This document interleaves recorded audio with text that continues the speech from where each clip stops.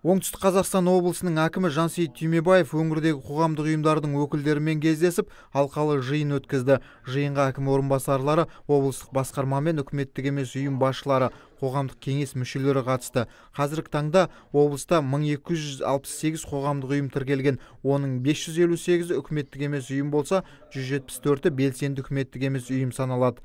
Өңірде үкіметтік емес ұйымдарды қолдау мақсатында жыл сайын қаржыландыру көлемі артып келеді. Нәтижесінде аймақта 200-ге жуық жоба жүзеге асырылуда. Алайда кейбір салалар бойынша қыруар қаржы бөлінсе де жүйелі жұмыстар байқалмайды. Облыс әкімінің орынбасары ұласбек сәдібековтің пікірінше әрбір үкіметтік емес ұйым жобалық офиспен бірлесіп арнайы жобалар дайындауға оны жүзеге асыруға жетекшілік етіп белсене қатысуы тиіс.